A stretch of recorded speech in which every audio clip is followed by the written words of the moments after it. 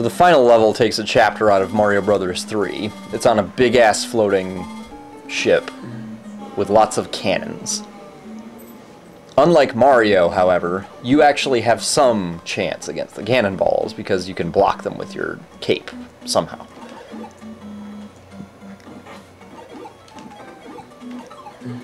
But those guys have no real pattern that I've ever seen to how they shoot. They just decide to shoot when they decide to shoot, so it's very easy to lose awareness. And the only warning you have is that brief animation before they actually throw a giant 50 pound ball of steel at your head. So quick reflexes are the way to deal with them. And they take a shit ton of damage for a regular enemy, too. Although they have a better chance of dropping items than most enemies. At least in my experience. These guys just piss me off. I mean, they're not dangerous at all. They're just a hindrance. And not, not even a fun hindrance. They're just there to literally piss you off. And these guys are just fucked up. You have to shoot them in the ass, but they move so damn fast that it's difficult, and you don't want to get near them. That one generally just disappears, though. And these guys walking around with their steel penis. Now this part can easily, easily fuck you up.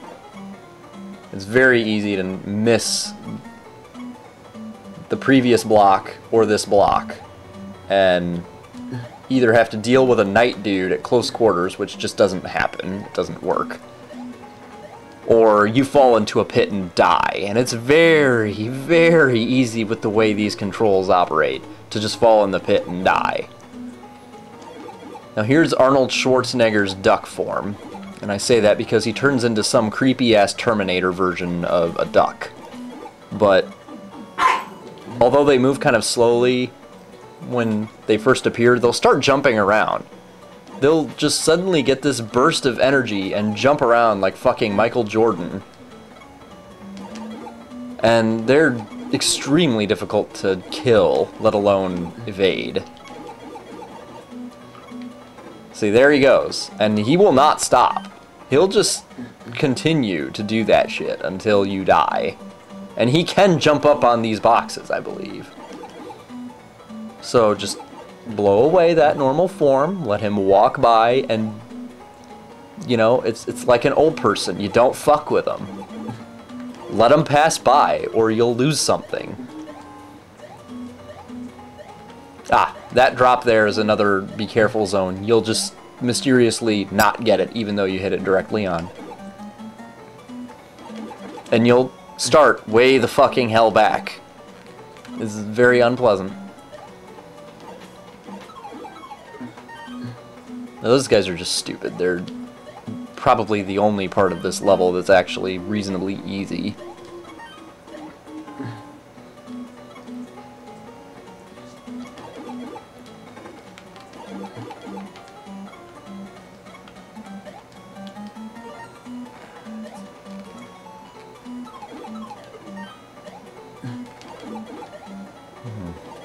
And here it slows down a bit. You have a little bit of time to kind of breathe.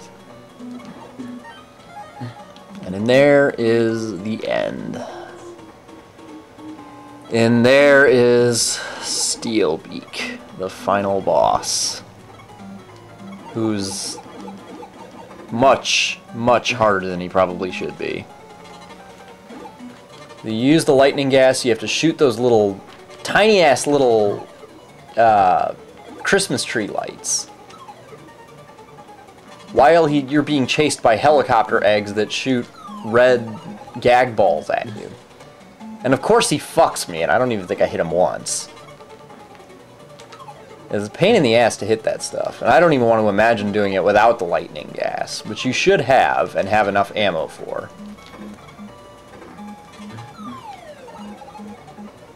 Yes, this is this is what the real game is like. You'll do this a lot.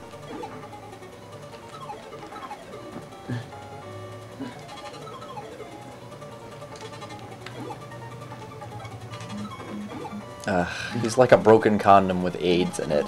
He's ex just extremely annoying. Because those things can easily outrun you. And it's not the fact that they shoot the gag balls at you, it's the fact that they're that much faster than you. And they just take joy in using those gag balls to distract you while they fuck you up. The Steelbeak himself is fast, motherfucker. He is very fast. And he throws these giant, like, safe doors at you. I can't, I can't even tell what they are. But it doesn't really matter because he's not nice. But only if you actually are dumb enough to stand on the ground with him. Now, you have to to an extent. You have to get him to throw that shit. But just stay towards this middle thing and he'll never hit you. Once he's on the ground, he's kind of a joke in comparison to what he can do initially. And if you have the Thunder Gas, it's even more laughable. He certainly is more... Uh, or he certainly has a heck of a lot more life than a regular boss, I think, but... For the most part, he's just an endurance battle. How much patience do you have?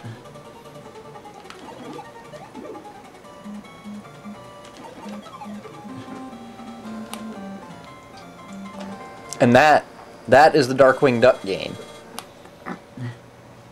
Probably the only saving grace of the game is the fact that Steelbeak was the final boss, and he was a, my favorite villain from the show. I don't know why. I liked him and Taurus Bulba, but Bulba obviously uh, kind of got short-dicked in the ass. This game really brings out the worst in me. It really does. But but it, it's not even done. I mean, even in the end, the game stays true to itself. You know, you, you think, ah, I can relax. No. At the very end, hey, fuck you!